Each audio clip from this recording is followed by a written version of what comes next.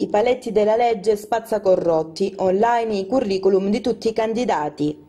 Il conto alla rovescia è già iniziato. Entro domenica 19 settembre partiti e movimenti politici in corsa per le elezioni regionali di ottobre dovranno pubblicare nel proprio sito internet il curriculum vitae dei loro candidati e il relativo certificato penale rilasciato dal casellario giudiziale non oltre 90 giorni prima della data del voto.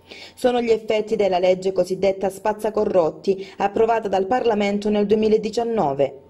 La norma, che si applica anche nei comuni superiori a 15.000 abitanti chiamati alle urne, punta a rendere le elezioni più trasparenti e far sì che i cittadini abbiano maggiori informazioni nel valutare ogni singolo candidato.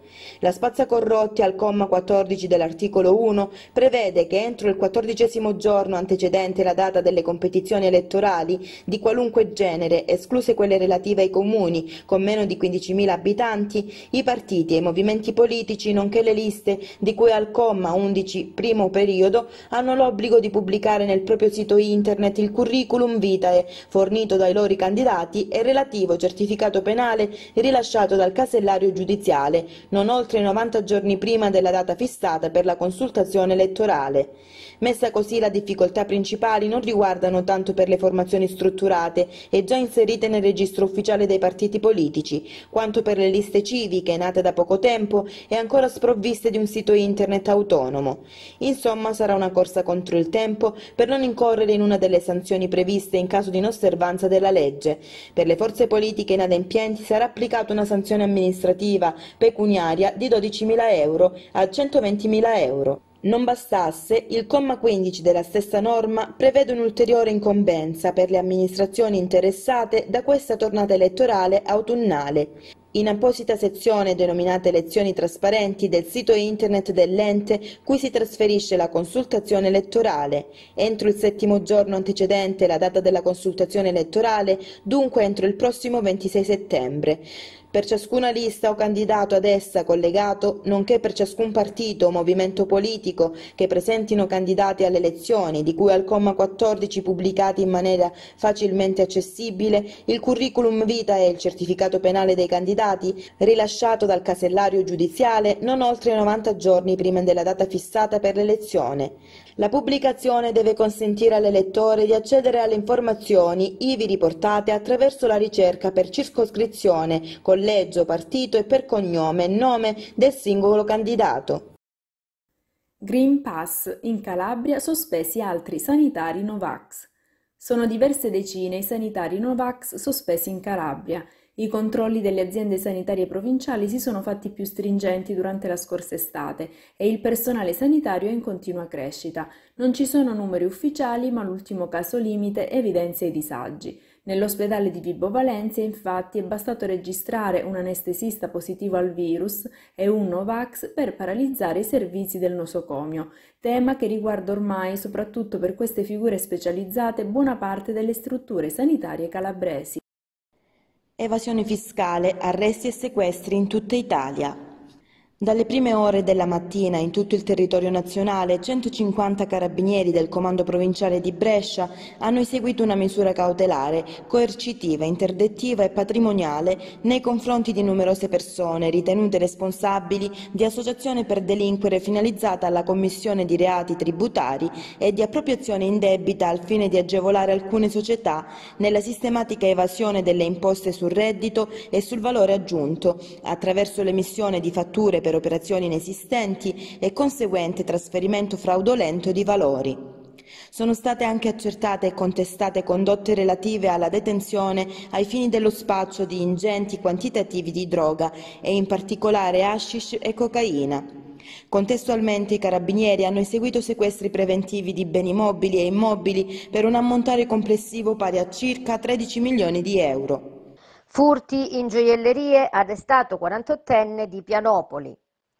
Autore di furti seriali in gioielleria arrestato dai carabinieri. Nella serata del 10 settembre a Pianopoli i carabinieri della compagnia di Girifalco hanno infatti arrestato un 48enne del posto ritenuto responsabile di furto con destrezza in tre gioiellerie della provincia.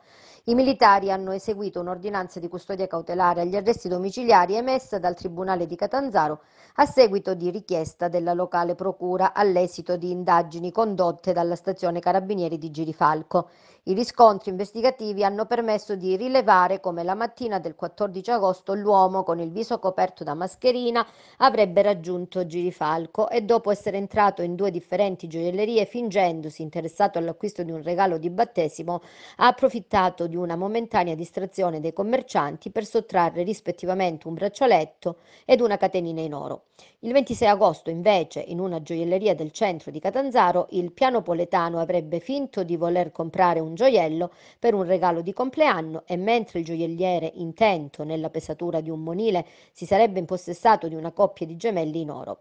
Le indagini hanno permesso di mettere a sistema i tre episodi di furto, identificare l'autore e restituire uno dei monili al legittimo proprietario. Per Teleionio, Anna Maria Colabraro. Contrasto allo spaccio di stupefacenti, un arresto e una denuncia a Catanzaro. I carabinieri della sezione operativa della Compagnia di Catanzaro hanno arrestato in flagranza per detenzione ai fini di spaccio di sostanze stupefacenti una 24enne e deferito in stato di libertà una donna di 57 anni, entrambe del luogo già note alle forze dell'ordine. Nel corso del pattugliamento delle piazze di spaccio di Catanzaro Sud, i carabinieri hanno notato una macchina ferma in attesa con il motore acceso, dentro la quale entrava la giovane con atteggiamento guardingo e sospetto, mentre la 57enne era alla guida. Il controllo del veicolo, deciso nell'immediatezza dai militari operanti, ha consentito di rinvenire circa 3 grammi di cocaina, nascosti sotto il sedile in un involucro che le donne avevano tentato di aprire per disfarsi dello stupefacente. La successiva perquisizione dell'abitazione della 24enne, già gravata da precedenti specifici, ha portato al rinvenimento di un bilancino di precisione, di mezzo grammo di hashish e di materiale per il confezionamento. Per la 24enne è quindi scattato l'arresto con sottoposizione agli arresti domiciliari, mentre la 57enne è stata deferita in stato di libertà alla Procura della Repubblica di Catanzaro. Delitto a Crotone si indaga sul percorso compiuto dai killer. Risalire al percorso seguito dai due sicari che venerdì mattina in sella a una moto hanno messo a segno l'agguato mortale. Stanno lavorando anche su questo gli investigatori della squadra mobile che indagano sull'omicidio di Mario Scarriglia, assassinato a colpi di pistola nella sua agenzia di onoranze funebri, che apre lungo la centralissima via Giovanni Paolo II. Le immagini delle videocamere degli impianti di sorveglianza presenti nella zona hanno immortalato l'arrivo del sicario in sella a uno scooter condotto da un complice. Casco da motociclista sul capo e mascherina sul volto. Il killer è poi sceso dalla moto, ha raggiunto l'ingresso dell'agenzia di onoranze funebri ed impugnando una calibro 765 ha esploso cinque colpi. Quattro proiettili hanno ferito a morte il 45enne, poi è arrivato cadavere in ospedale. Un quinto proiettile ha invece raggiunto sotto il ginocchio sinistro il 53enne AS, in bianchino che era insieme a Scarriglia. Poi il killer è risalito sul sellino del ciclomotore, condotto dal complice, e si sono dileguati. Gli agenti della sezione, diretta dal vicequestore Ugo Armano, naturalmente cercano la moto utilizzata dal comando. Ma stanno passando al setaccio anche altre immagini registrate dalle telecamere che costellano l'intera zona dell'ex via Cutro e non solo. Cercano così di ricostruire l'itinerario seguito dagli autori dell'agguato, potrebbero capire da dove sono arrivati. E questo sarebbe un elemento utile alle indagini sul delitto del 45enne, indagini che appaiono complesse. Gli investigatori coordinati dal sostituto procuratore Alessandro Ro stanno vagliando al momento diverse ipotesi. Mario Scarriglia porta un cognome noto dalle parti del vicino rione di Fondo Gesù, ma il 45enne era considerato, a differenza di qualche suo congiunto, fuori da certi ambienti collaterali alle locali. Il 45enne assassinato venerdì mattina, a parte un lontano precedente di polizia per gioco d'azzardo, se precedente si può definire, non aveva mai avuto guai con la giustizia. Ecco perché l'attenzione degli inquirenti e degli agenti della mobile intervenuti sul luogo dell'imboscata col vicequestore Antonio Concas si è concentrata anche sulla vita privata della vittima, sulle sue conoscenze, sui suoi rapporti di lavoro e sulle sue relazioni. Si sporge dagli spalti dello stadio e cade, ferito un tifoso della Regina. Si è sporto eccessivamente dagli spalti dello stadio Ezio Scida di Crotone, forse per protestare durante una contestata azione, ed è precipitato dall'altezza di tre metri. Un tifoso di Reggio Calabria è rimasto ferito in modo non grave durante il primo tempo della partita tra il Crotone e la Regina, valida per il campionato di Serie B. L'uomo è stato soccorso e trasportato al vicino ospedale in condizioni non gravi e i medici del pronto soccorso lo hanno sottoposto ad accertamenti per verificarne le condizioni in seguito alla violenta caduta. Incendio ambulanza Croce Rossa a Reggio, mezzi ospitati in parcheggio del Consiglio regionale. Dopo il danneggiamento e l'incendio di un'ambulanza della Croce Rossa di Reggio Calabria, per evitare che episodi del genere possano ripetersi, su proposta del vicepresidente del Consiglio regionale Nicola Irto, i mezzi della Croce Rossa già a partire da questa mattina sono stati collocati all'interno del parcheggio di Palazzo Campanella che ospita l'Assemblea regionale. Non ci sono parole di condanna sufficienti per il grave arte vandalico compiuto nei confronti della Croce Rossa di Reggio Calabria, ha affermato Irto. Un grazie alle forze dell'ordine che hanno già individuato il responsabile del gesto. Qualche giorno fa ho visitato la postazione per i tamponi rapidi alla stazione centrale e ho avuto modo di constatare la professionalità e la disponibilità di tutti gli operatori. Per questo ho espresso la mia gratitudine alla Presidente Daniela Dattoli e a tutti i volontari della Croce Rossa italiana. Da oggi, su mia proposta, subito accolta dal Presidente del Consiglio regionale Giovanni Arruzzolo, che ringrazio per la disponibilità, i mezzi della Croce Rossa potranno essere ospitati nel parcheggio del Consiglio regionale. Soddisfatti e rassicurati i volontari della Croce Rossa Regina che insieme alla Presidente Dattola hanno condotto le autoambulanze all'interno del cortile del Consiglio regionale. Per Teleionio, Salvatore Condito. Scontro tra due auto a Torano, quattro feriti. Incidente stradale sulla strada provinciale 241 in prossimità dello svincolo autostradale di Torano. Sul posto è giunta una squadra dei vigili del fuoco, due le auto coinvolte, una Mini Cooper ed una Renault Clio. Quattro i feriti che sono stati affidati alle cure del personale sanitario del SUEM 118 e trasferiti all'ospedale Annunziata. A seguito dell'impatto, una delle due auto è carambolata per circa 300 metri, innescando un incendio alle sterpaglie situate a bordo strada. Sul posto i carabinieri di Torano per gli adempimenti di competenza, l'intervento dei vigili del fuoco è valso alla completa estinzione delle fiamme ed alla messa in sicurezza del sito. Per Teleionio, Anna Maria Colabraro. Giovane da fuoco alla vegetazione gettando carte infiammate dalla bici, individuato grazie alle telecamere.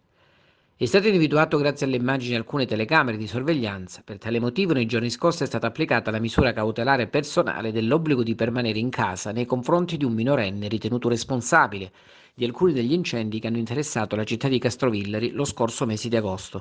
Si tratta di un diciassettenne del posto nei cui confronti è stata eseguita la relativa misura cautelare. Il provvedimento disposto dal GIP del Tribunale dei minorenni di Catanzaro Teresa Tarantino su richiesta del PM Maria Alessandra Roberto è stato eseguito dai militari delle stazioni Carabinieri Forestali di Castrovillari e Montalto Fugo, alle dipendenze del gruppo Carabinieri Forestali di Cosenza, al comando del tenente colonnello Vincenzo Perrone. Gli eventi incendiari hanno interessato alcuni terreni incolti, cespugliati, gravati da eh, danni alla società pubblica erogatrice dei servizi telefonici e di illuminazione con la combustione dei pali che sorreggevano i fili che solo grazie al pronto intervento di alcuni cittadini e dei volontari dell'Ampana e dei vigili del fuoco di Castrovilleri si è riuscita a spegnere. Nei pressi di uno dei luoghi interessati dal fuoco era presente anche un impianto di metanodotto. Il giovane è stato in un primo momento identificato mentre si trovava sul luogo in un incendio dagli uomini del commissariato di Castrovilleri, insospettiti della sua presenza. In seguito l'attività investigativa messa in atto dai carabinieri forestali ha confermato le sue responsabilità. In particolare i militari hanno effettuato anche una perquisizione domiciliare che ha portato al sequestro della bicicletta utilizzata per compiere reati e di uno smartphone nelle cui immagini custodite era sintomatica l'osservazione di tali eventi da parte dello stesso incendiario. Ulteriori elementi sulla piena riconducibilità al medesimo sono emersi dal contenuto delle conversazioni intrattenute in chat, dove il minorenne nei giorni successivi ha dimostrato preoccupazione per la presenza delle telecamere di sorveglianza, manifestando il timore di essere stato identificato. Il ragazzo è stato ora affidato ai servizi minorili dell'amministrazione di giustizia. Per Teleionio Salvatore Condito. Per il Tribunale dei minori non fu stupro sulla spiaggia di Soverato, giovane serrese assolto. Il Tribunale dei minori ha disposto l'assoluzione del giovane serrese accusato di aver violentato la scorsa estate una 23enne di nazionalità straniera su una spiaggia di Soverato. Lo riporta il quotidiano del Sud che descrive i particolari dell'esito del primo grado di giudizio.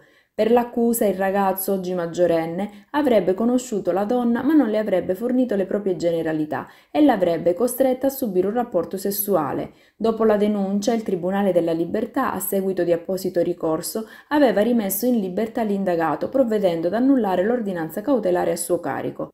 Lo stesso tribunale aveva basato la sua decisione sul referto del pronto soccorso dell'ospedale di Soverato e contraddizioni nella versione fornita dalla presunta vittima. Successivamente la Cassazione aveva annullato l'ordinanza di scarcerazione di agosto 2020 e dallo scorso febbraio il giovane è stato inserito in comunità che ha lasciato ieri mattina. L'impianto difensivo è stato predisposto facendo leva sulle fonti testimoniali e sul referto che, ad avviso dei legali, ha di fatto escluso la presenza di una violenza sessuale. Niente diffamazione al sindaco di Torre di Ruggero, archiviato il procedimento contro Maria Teresa Sanso.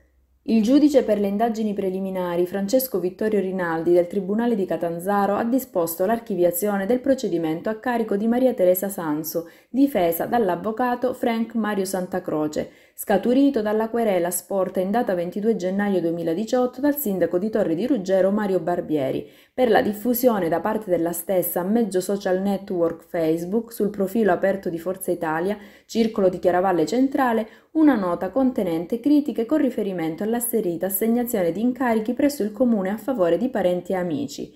Il giudice ha dunque accolto la richiesta di archiviazione presentata dal PM per l'infondatezza della notizia di reato, in quanto, a parere del giudicante, tali condotte sono idonee a configurare la scriminante del diritto di critica politica, ai sensi dell'articolo 51 del Codice Penale, in relazione alla fattispecie di cui all'articolo 595 del Codice Penale. Maria Teresa Sanso, nel ringraziare pubblicamente l'avvocato Santa Croce per la difesa svolta, ha dichiarato che finalmente è stata fatta giustizia, con l'augurio che la politica possa tornare ad essere esercitata attraverso il confronto ed il dialogo nelle sedi a ciò preposte, destinando i soldi dei cittadini contribuenti ad altre finalità sicuramente più urgenti ed indifferibili. Torre di Ruggero, la replica del sindaco. La vicenda processuale a carico di Maria Teresa Sanso non è chiusa. L'ordinanza di archiviazione del GIP per diffamazione a mezzo stampa è stata impugnata davanti alla Corte di Cassazione. Con riferimento alla nota non era diffamazione ma critica politica, l'amministrazione comunale di Torre di Ruggero guidata dal sindaco Mario Barbieri precisa quanto segue. L'ordinanza di archiviazione del GIP di Catanzaro, dottor Francesco Vittorio Rinaldi, inerente il procedimento di diffamazione a mezzo stampa a carico di Maria Teresa Sanso, scaturito dalla querela sporta dal sindaco di Torre di Ruggero, è stata impugnata davanti alla Corte di Cassazione. Il sindaco Mario Barbieri dichiara infatti che il GIP di Catanzaro non ha escluso il contenuto denigratorio e l'infondatezza delle affermazioni contenute nella nota dei coordinatori locali di Forza Italia, ma ha specificato che le stesse rappresentino opinioni personali, come tali congetturali, quindi non vincolate al requisito della veridicità degli autori. E tuttavia, continua il sindaco, la distinzione operata dal GIP tra diritto di critica e diritto di cronaca poggia sull'erroneo presupposto giuridico secondo cui il requisito della veridicità rileverebbe solo per l'integrazione del secondo. La pronuncia, pertanto, ad avviso dell'amministrazione comunale di Torre, non ha tenuto conto del costante insegnamento insegnamento della Suprema Corte, secondo cui il criticante, quando giunge ad accusare il criticato di veri e propri comportamenti antigiuridici, deve quantomeno indicare il fondamento fattuale delle sue accuse. Sul presupposto rilievo che la critica non è svincolata dal requisito della veridicità in relazione al fatto che si intende criticare. Per queste ragioni, tenuto conto che la nota diffusa dagli indagati riportava fatti e circostanze falsi e pretestuosi Trasmodanti il diritto di critica politica, l'amministrazione ha dato incarico al suo legale di fiducia, l'avvocato Valerio Murgano del Foro di Catanzaro, al fine di impugnare il provvedimento e ristabilire la verità storica e giuridica di quanto accaduto. Conclude il sindaco Barbieri, non consentiremo mai a nessuno di buttare fango sull'amministrazione e sulla comunità di Torre. La vicenda processuale quindi è tutt'altro che chiusa e attenderemo fiduciosi la pronuncia della Suprema Corte. Emergenza cinghiale a Girifalco scatta una petizione popolare. Una petizione popolare promossa da Rocco Tolone, ex assessore al comune di Girifalco, in merito alla critica emergenza causata dai numerosi cinghiali presenti sul territorio, è stata inviata al sindaco per sollecitare un solente intervento. I sottoscritti cittadini del comune di Girifalco, si legge nella petizione, con tanto di firme allegate, nella loro qualità di proprietari di terreni agricoli esistenti sul territorio, spiegano che ormai prassi giornaliere che in varie zone del nostro territorio, anche internamente all'abitato, siano segnalate presenze numerosi cinghiali che devastano le colture agricole, invadendo giardini e orti.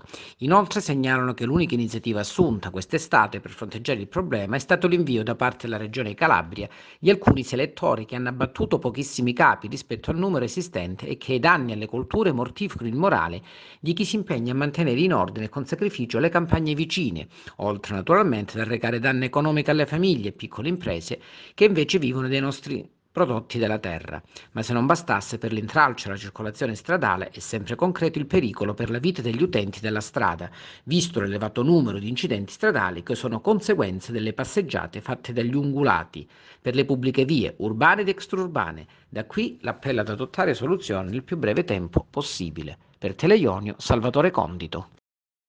Ed ora ci fermiamo per una breve pausa. A tra poco. Lavori ancora da completare e Soverato finisce sott'acqua. Circa 30 interventi per allagamenti effettuati dai Vigili del Fuoco nella sola cittadina di Soverato, pavimentazioni divelte, sottopassi inondati dal fango, auto sprofondate nei detriti. 50 minuti di pioggia hanno messo in ginocchio la città. Se avesse piovuto per altri 20 minuti sarebbe stato un disastro e avremmo dovuto evacuare i primi piani delle abitazioni, commenta il vice sindaco Daniele Vacca. È lui, delegato ai lavori pubblici, il principale interlocutore di chi ha tentato di comprendere come si sia arrivati allo stesso punto in cui si era dopo l'alluvione del 2011, nonostante l'investimento di 3 milioni di euro che aveva dichiarato lo stesso Vacca nel 2019. Avrebbe risolto definitivamente il problema, i lavori sono partiti a fine primavera e anche dove sono stati realizzati non hanno bloccato la circolazione senza controllo dell'acqua piovana. Il progetto, spiega il vice sindaco, non è stato ultimato. I lavori sono ancora al 10%, sono stati portati avanti per poco più di un mese e si sono interrotti a luglio per non creare disagi nella stagione estiva. Riprenderanno domani, ma ci vorranno almeno altri quattro mesi per completarli. Il tratto realizzato per dimensionare le condotte di flusso sul viale Magna Grecia non ha ancora uno sbocco al mare, per cui non poteva servire a evitare gli allagamenti. I tecnici comunali hanno individuato le criticità che confermano i limiti del sottodimensionamento dei fossi. È tracimato il fosso Marini, spiega ancora il vice sindaco. Da lì è partito il fiume d'acqua che ha inondato il sottopasso e le vie cittadine. È uno degli interventi in programma nei prossimi mesi. I detriti invece sono arrivati da Soverato Superiore. La siccità, alternata a una pioggia che ha fatto cadere 120 mm di acqua, non ha permesso ai terreni di assorbire l'acqua che è scesa a valle. Posso dire a chi non parla di evento straordinario che nel quartiere di Caramante l'acqua ha sollevato la pavimentazione, cosa mai accaduta finora. Intanto il sindaco ha chiesto lo stato di calamità, mentre sgomberate le strade che sono tornate fruibili si fa la conta dei danni. Ancora una volta hanno colpito commercianti e privati cittadini scesi a spalare nel weekend. La scelta politica di sospendere i lavori nella stagione estiva nel frattempo riaccende gli scontri con il gruppo di opposizione. A essere contestate le modalità con cui sono stati realizzati i sottoservizi nel nuovo corso è la scelta di non aver mai diviso in alcune zone della città le acque bianche da quelle nere. La manutenzione, sbotta la consigliera di minoranza Azzurra Ranieri, fa acqua da tutte le parti. I soldi pubblici vengono investiti in lavori fatti male, gestiti nell'ottica del risparmio dei materiali.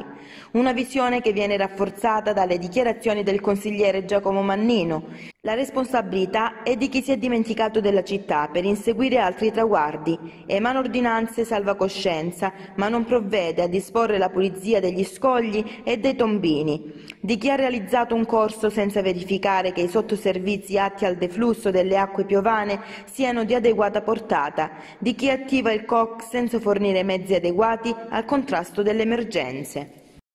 Santa Caterina dello Ionio, Severino, la sicurezza del territorio e la reggimentazione delle acque sono priorità per l'amministrazione.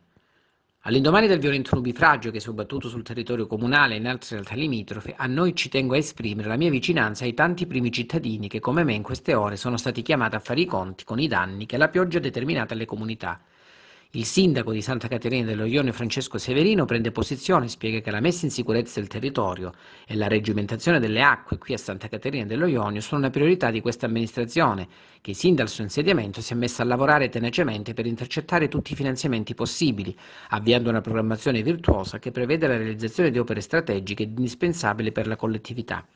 Per tale ragione, diversamente dalla situazione generale, sostiene il primo cittadino, abbiamo registrato soltanto qualche criticità legata ai lavori in corso in località Petruso, alla quale abbiamo posto rimedio attraverso il tempestivo intervento non soltanto mio, ma anche del vice sindaco, assessore e consiglieri tutti, unitamente all'ufficio tecnico comunale, al COC e alle forze dell'ordine, i vigili del fuoco e alla ditta che sta realizzando i lavori. A loro aggiungeva il mio sentito grazie per aver gestito l'emergenza in maniera impeccabile. Anche il sottopassaggio d'accesso a lungomare per via della bomba d'acqua si è allagato. Prontamente è stato sgombrato dalle acque fangose, ma insieme ai tecnici stiamo valutando gli interventi da realizzare per favorire il flusso delle acque in caso di forti precipitazioni, superando definitivamente una problematica che ci portiamo dietro sin dalla costruzione del ponte. In questa sede voglio ringraziare anche tutti i cittadini che ci hanno aiutato in queste ore particolari, sia nelle strade pubbliche che nelle abitazioni di alcuni privati. È in questi momenti che deve uscire fuori lo spirito di una comunità uniti per aiutare chi ha bisogno ed anche per i loro sforzi conclude che siamo riusciti a scongiurare danni più seri e a mantenere integra l'incolumità collettiva. Per Teleionio, Salvatore Condito. Nuovo sbarco nella Locride in arrivo 26 migranti. Erano a bordo di una barca a vela di 10 metri in balia del mare particolarmente mosso. 26 migranti di nazionalità iraniana e irachena sono stati soccorsi dalla Guardia Costiera a molte miglia di distanza dalla costa di Bovalino in provincia di Reggio Calabria. L'imbarcazione è stata raggiunta da unità della Guardia Costiera. Non potendo trainare per le cattive condizioni atmosferiche del mare la piccola imbarcazione a vela, i migranti sono stati trasferiti in una delle motovedette della Guardia Guardia Costiera e condotti in sicurezza nel porto di Roccella Ionica, dove sono giunti prima dell'alba. Appena sbarcati, tutti i migranti sono stati sottoposti al test del tampone molecolare e di seguito sistemati momentaneamente nel centro di primo soccorso e accoglienza di Roccella, struttura messa a disposizione dal comune Reggino e gestita dalla locale sezione della protezione civile. Con quello di stamattina è salito a 25 il numero degli sbarchi che si sono finora verificati nella sola striscia di costa della Locride negli ultimi tre mesi. Per Teleionio, Anna Maria Colabraro. Gasperina solidale una mano d'aiuto al popolo afghano. Gasperina solidale in favore del popolo afghano. Il comune ha pubblicato un avviso pubblico per l'adesione ai progetti di accoglienza in favore di famiglie profughe afghane nell'ambito del sistema accoglienza integrazione attivato dal Ministero dell'Interno attraverso la messa a disposizione di appartamenti da parte di proprietari di alloggi singoli, privati, imprese di costruzione, società immobiliari cooperative, come rende noto la civica amministrazione guidata dal sindaco Gregorio Gallello. Il comune di Gasperina ha dato la disponibilità ad accogliere due famiglie afghane composte da un massimo di sei componenti componenti, pertanto si ha la necessità di perire due alloggi. I soggetti interessati entro venerdì 17 settembre 2021 alle ore 14 potranno contattare l'ufficio tecnico comunale per avere informazioni e valutare l'adeguatezza del proprio immobile rispetto alle finalità ed esprimere l'adesione al progetto ci si può rivolgere in avviso completo presso consultabile sul sito www.comune.gasperina.cz.it. Per Teleionio Salvatore Condito. Torre di Ruggero, un successo la seconda giornata del primo festival della nocciola bio di Calabria. Successo di attenzione e di pubblico per il convegno Nocciola Bio, Territorio, Turismo Esperienziale, il valore dell'identità locale, previsto nell'ambito del primo Festival della Nocciola Bio di Calabria, promosso dal Comune di Torre di Ruggero e attuato dall'Associazione Culturale Nocciola Biologica Calabrese, finanziato da contributo regionale. Al tavolo dei relatori, ospiti relatori di consolidata esperienza nell'ambito della progettazione e promozione dello sviluppo locale. Di primo piano la presenza di Rosario D'Acunto, presidente dell'Associazione Nazionale Città della Nocciola e presidente dell'Associazione Professionale Operatori del Turismo Esperienziale. Docente a contratto di economia aziendale e marketing presso varie università italiane, la Sapienza di Roma e la Federico II di Napoli. Esperto di programmi e strategie per promozione dello sviluppo territoriale, all'attivo diverse pubblicazioni sul turismo culturale e promozioni della sostenibilità ambientale, ospitalità dei territori, creatività, accoglienza e network per lo sviluppo rurale. La nocciola come risorsa per questo territorio già nei decenni scorsi poteva avere un ruolo importante e poteva essere di volano all'intera economia. Perché questo? Perché finalmente con la globalizzazione ci si è resi conto che le diversità e le tipicità di un eh, territorio possono essere il motore dello sviluppo economico del territorio stesso. Purtroppo nei decenni scorsi eh, si è perso un po' di entusiasmo rispetto alla produzione della nocciola, ma il lavoro che il Consorzio e l'Associazione hanno fatto negli ultimi anni è un lavoro lavoro egregio che sta realmente creando delle solide basi, delle solide fondamenta per una strategia che punti sulla nocciola di Calabria non solo per le sue caratteristiche organolettiche, ma punti sulla nocciola di Calabria anche per il coinvolgimento delle comunità locali. Cioè in altri termini come il lardo di Colonnata è stato la fortuna di una frazione anonima di Carrara, Colonnata, eh, la nocciola di Calabria deve essere la fortuna e quindi il motivo di successo per questi territori di Torre di Ruggero, di Cardinale cardinale, cioè in altri termini non bisogna più produrre per la vendita all'esterno o peggio ancora per l'esportazione, ma bisogna produrre per la trasformazione in loco del prodotto stesso, quasi a voler dire che un chilo di nocciola di Calabria deve dispiegare tutta la sua potenzialità economica nel territorio, quindi un chilo di nocciole di Calabria eh, io me lo immagino trasformato nel luogo, me lo immagino utilizzato nella ristorazione, eh, nei servizi, eh, che promuova ricettività, eh, che susciti occasioni di degustazione e ancora che permetta di organizzare itinerari turistici e soprattutto oggi, che non siamo più nell'economia della produzione dei servizi, permetta anche di promuovere, creando, allestendo ed erogando esperienze turistiche professionali e affidabili. Il caso di questo convegno stasera permetterà proprio di presentare il progetto di destinazione da località a destinazione di turismo esperienziale, cioè in che modo una realtà che ha una sua tipicità che può essere utilizzata da vettore può costruire eh, sul palcoscenico del territorio, col genius loci della nocciola, ma anche della storia, del folklore, eh, della cultura eh, locale, una destinazione di turismo legata alle esperienze locali chiaramente intervenendo sulle risorse umane, eh, trasferendo competenze, puntando sulle eh, passioni e solo a questo punto è bene mettere in campo il turbo della distribuzione e quindi veicolare con un club di prodotto eh, esperienze professionali che abbiano un loro marchio di aria che parta proprio dalla nocciola eh, di Calabria eh, promossa dal Consorzio. Eh, in effetti il tavolo curricolo nazionale eh, doveva avere già un ruolo importante negli anni scorsi quando non è stato riconvocato e quando purtroppo alcuni player nazionali e internazionali hanno portato le regioni a fare delle scelte che la stessa coloricoltura eh, calabra non ha accettato. Cioè in altri termini dopo il piano corilicolo 2010-2012 c'è stato un periodo di vuoto di una governance e di una politica nazionale condivisa condivisa. Noi come Associazione Nazionale Città della Nocciola abbiamo fortemente, fortemente voluto la riconvocazione del tavolo per questo nuovo piano. Cosa si è ripresentato al tavolo? Problemi vecchi e problemi nuovi problemi antichi come quelli dei difetti della nocciola dovuti al cambio climatico, ma il cambio climatico è anche un problema eh, nuovo. Quindi senza voler puntualizzare in questa sede alcuni aspetti legati alla trasformazione, alla eh, commercializzazione e ad altri aspetti ancora legati alla ricerca, eh, la presenza stessa al tavolo corilicolo di eh, Giuseppe Rotirò piloti del territorio in rappresentanza della nocciola eh, di eh, Calabria sta a significare che il territorio attraverso Giuseppe Rotiroti deve portare le istanze della nocciola di Calabria. È chiaro che noi non andiamo a fare una sommatoria di campanili perché come associazione Città della Nocciola abbiamo promosso già dieci anni fa il marchio nocciola italiana